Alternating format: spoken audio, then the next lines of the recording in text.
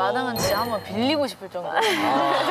그리고 여기 계단이 되게 올라오기 위험하고 철계단. 네, 괜찮으신 맞아요. 건가요? 그래서 뭐 위험해요. 다치거나 이러신 적은 없으세요? 어, 한 번 그러다가 그러니까. 네, 내려가다가 그러니까 술 좋아하시니까 또 네, 그래서 친구도 처음에 제가 이 집에 이사 왔을 때 계단을 보고 너는 이제 술은 집에서만 먹어야겠다.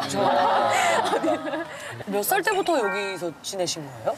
어, 서울에 올라온 거는 네. 스무 살 때부터 올라왔고요. 여기가 세 번째 어. 집이거든요. 네. 뭐 먹을 것도 많고 뭐 언덕이 없는 평지 그리고 역세권 위주로 집을 알아보게 되어서 운이 좀 좋았던 게 이 집 구할 때 공인중개사 분이 고향 중학교 선배셔가지고 집을 많이 막 보여주시고 막 많이 알아봐 주시기도 그 전에 사시던 곳은 이런 옥탑방이었나요? 아니면 아, 아니요 그 반지하였습니다.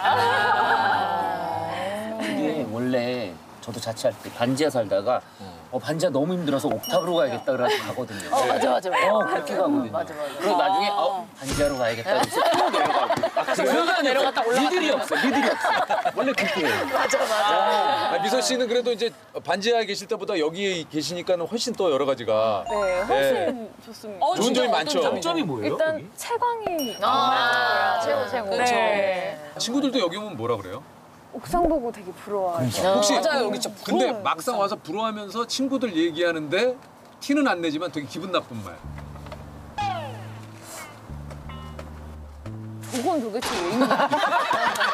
저건 도대체 왜 있냐? 저건 도대체 왜 있냐? 어 내가 했잖아. 내가 했잖아. 이 연통은 뭔가요? 아, 미안해. 잘못했네. 미안해. 내가 미안해요 미소 씨. 선배님 보자마자 이건 왜 있어요? 아, 미소 씨 미안합니다. 물어보시는구나 다들 부모님도 오시자마자 얘기하시는 이건 도대체 치울 수 없는 거야. 아.